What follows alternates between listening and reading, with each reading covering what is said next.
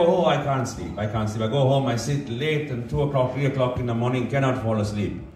Why? Don't know. I'm stressed, anxious. The level of stress and anxiety in our lives has made it almost impossible for us to do even the most basic of human functions. That is how fucked you are.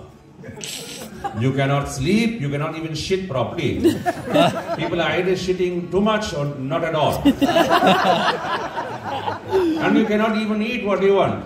But the sleeping is the biggest problem. In the old days, your grandfather never had this problem, insomnia. They slept, even no matter how sad they were. Our forefathers slept. They got you go, oh, I'm stressed, I can't sleep.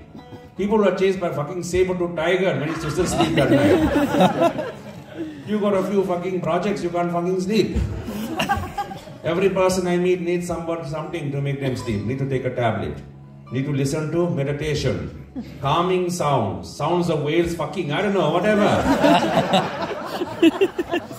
That's the only way you can sleep.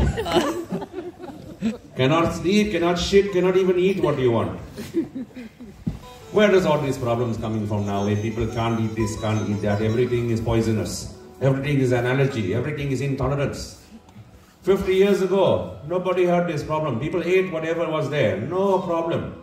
Today you are so fucked from stress and anxiety, and doctors will tell you that most of the modern medical problems that people experience today can be related to stress. That's why they say stress is a killer. And stress manifests itself in many different ways in the body. And one of the most common ways is in the gut, in the stomach. That is where all nerve endings are.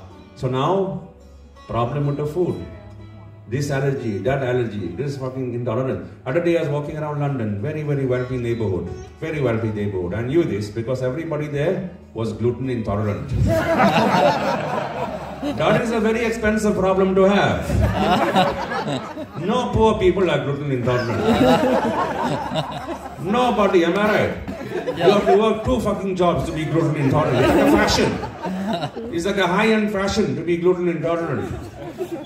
Only here it exists. In Europe, America, Australia, UK. That is it. All of you fuckers are gluten intolerant. you go India, 1.5 billion people, not one gluten intolerant.